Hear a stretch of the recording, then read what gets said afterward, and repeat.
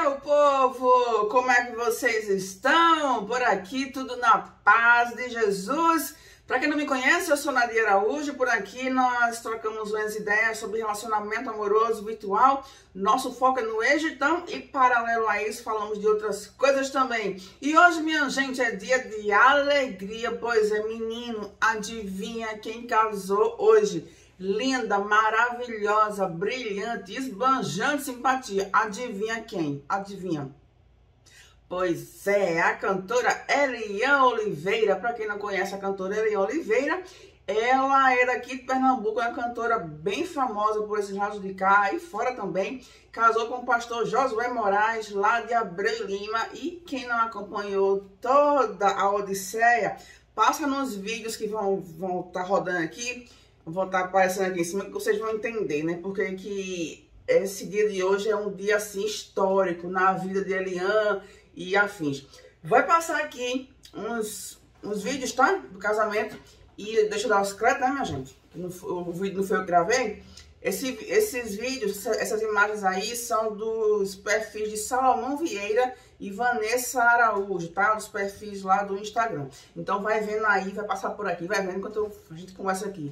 Minha gente, eu fiquei tão feliz, mas tão feliz, tão feliz, tão feliz, que vocês não estão entendendo não, tá? Resumão aqui da história. Eli Oliveira é uma cantora da Assembleia de Deus, da ERA, da IEADPE, Igreja Evangélica Assembleia de Deus em Pernambuco, há milhentos anos. Eu acho que eu não era nem nascida, literalmente. E Elian já cantava, ou estava começando a, a cantar na, na Assembleia de Deus. E há uns três anos, ela era casada, tinha dois, tem dois filhos, já tem netos também, ou é neta, não sei bem. E daí que há uns três anos e pouco, o esposo dela faleceu. Ele tinha câncer e faleceu. E aí, o pastor Josué Moraes é pastor da Abreu Lima e é a DALP, que é a Igreja Evangélica Assembleia de Deus, Abreu Lima, Pernambuco. E ele também era casado, obviamente, e a esposa dele, coincidentemente, também foi acometida por um câncer e faleceu no começo deste ano. E aí que o caminho de Elian encontrou, cruzou com o caminho do pastor Josué, e aí eles se apaixonaram e casaram. E aí tá essa imagem linda, maravilhosa que vocês estão vendo passar aí. E minha gente, é, eu não sou uma pessoa emotiva, tá? Eu não, não, sou, nunca fui. Mas confesso a vocês que ver essas imagens do casamento de Elian, ver Elian tão feliz desse jeito, me emociona, sabe? Eu tava até comentando com uma amiga minha aqui em relação a isso aí, que ver tudo isso aqui é emocionante, porque a gente fez parte da história dela, mesmo que ela não nos conheça, mas a gente fez parte da história dela, a gente acompanhou a história de vida dela, sabe? Ah, o, todo o sofrimento que ela passou na, na doença do, do esposo e tal. E é, to, toda como é que eu poderia dizer para não ser indelicada, né, minha gente? Para ser diplomática. Toda, todas as dificuldades religiosas que ela passou, fazendo parte da IADPE, né? Uma mulher com tanto, com tanto talento, mas ela vivia presa nas regras da IADPE, né? Porque ela, até então, ela era a, a queridinha do pastor presidente Ailton José Alves falou em, em, a estrela da IADPE era Elian, ela era super respeitada, super aceita pela liderança da IADPE. E, só que assim, se por um lado isso era bom, isso era honroso, por outro lado, ela vivia presa às regras da igreja, presa. Ela, ela era como se fosse propriedade privada da IADPE. Tanto que, quando ela decidiu casar, com o pastor Josué, não faz parte da IEDPE, faz parte da, de outra denominação, a mesma Assembleia de Deus, porém, outro ministério. Ela não foi aceita. É, ela não foi aceita. Passe no, nos vídeos que vai passar por aqui, vocês vão entender todo o contexto. E daí o pastor presidente sugeriu que o esposo, o agora esposo da, de Aline Oliveira, largasse a igreja dele e viesse para a IADPF, que é óbvio que ele não ia fazer isso nunca. Como ele não aceitou, claro, é óbvio que Elian foi acompanhar o, o noivo, agora marido, e Elian foi totalmente excluída. Ela foi excluída da, da igreja, né? E adivinha quem não estava no casamento de Eliane? É, exatamente. O pastor Ailton José Alves e família afins e afins e afins. Ele não estava lá. Aí eu pergunto para vocês, aí eu vou, eu vou ter que falar, porque eu não aguento ficar calada, não aguento. Cadê aquela, aquela né, aquelas coisas bonitas, aquele discurso lindo, maravilhoso? Com bom e com suave é que os irmãos vivam em união? Cadê? Cadê? Oi? Oi?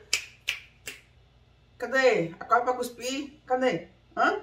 Eu lembro bem que todos os pastores que vão pregar né, nas igrejas, que tem que trazer a saudação do pastor presidente idolatrado, salve, salve, e os pastores falam o quê? O que pastor presidente deixou para meditação o Salmo 133, ó quão bom e quão suave é que os irmãos vivam em união, né?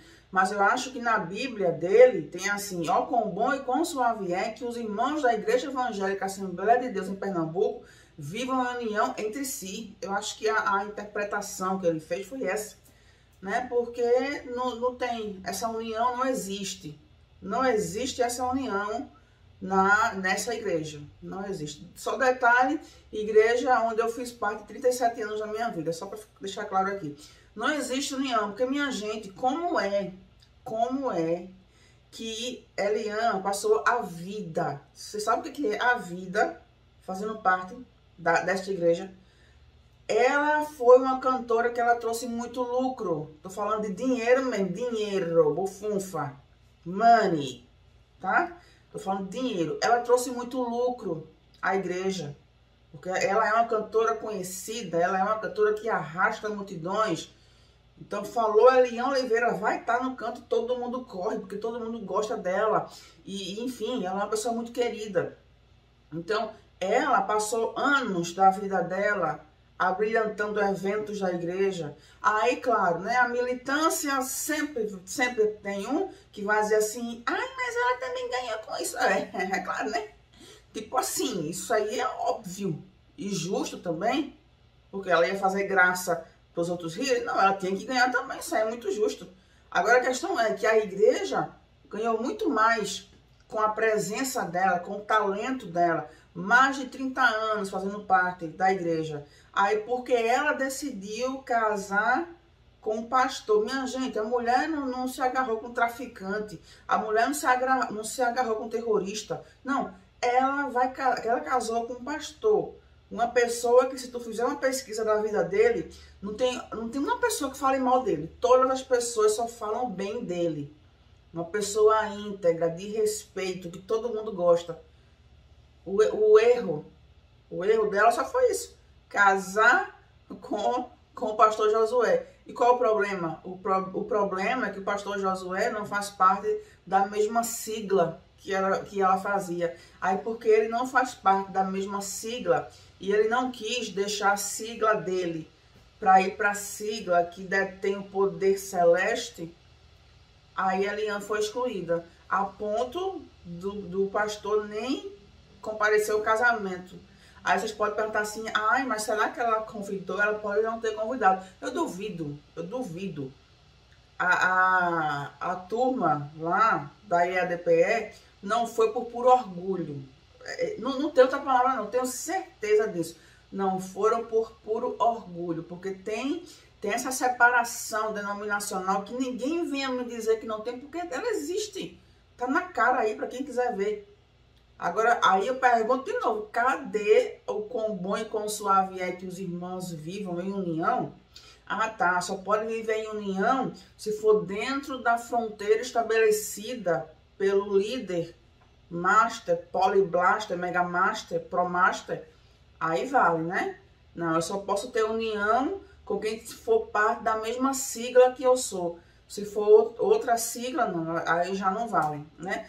Eu só fico pensando o seguinte, no fim de tudo isso aqui, quando tudo isso aqui acabar, no fim, acabou, final, ponto final, como é que vai ser? Eu só queria entender isso, sabe? Porque enquanto tá aqui, enquanto as pessoas detêm o poder, enquanto elas fazem o que elas querem, ninguém manda porque não tem ninguém acima delas, estou falando a nível humano, tá tudo bom, faz, desfaz fica por isso mesmo. Mas eu quero saber quando sair para a quarta dimensão, sabe?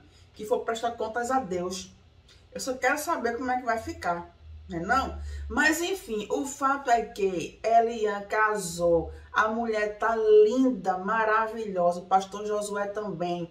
E para quem é daqui de Pernambuco, para quem é ou já foi da Igreja Evangélica Assembleia de Deus, sabe todo o cenário que envolve isso aqui, toda a hipocrisia que envolve, é, é emocionante, sabe, ver isso aqui, porque é uma libertação. Não é só um novo ciclo que eles estão, ela principalmente, está iniciando na vida dela. Não, é libertação, sabe? A mulher tá outra. Comparem ela antes e comparem ela agora que é nítido, é nítido que a mulher tá, tá outra, sabe? A mulher tá outra, não, não tem nem palavras. Então, minha gente, né, eu quero compartilhar isso aqui com vocês e eu só desejo que felicidades mil para Eliane e para o pastor Josué, que eles, que eles sejam muito, muito, muito felizes e que o lado de cá acorde para cuspir e para com essa besteira, sabe? Essa besteira de se achar o detentor da salvação, o detentor de tudo, porque daqui uns dias isso aqui acaba. E a prestação de contas com Deus é do pré-sal para baixo um pouquinho, né? É isso. Bom, é isso, minha gente, é isso, né? Vamos para os comentários, quero saber o que é que vocês acham, o que é que vocês têm a falar sobre isso. A gente se vê lá e no vídeo de amanhã. Tchau, tchau.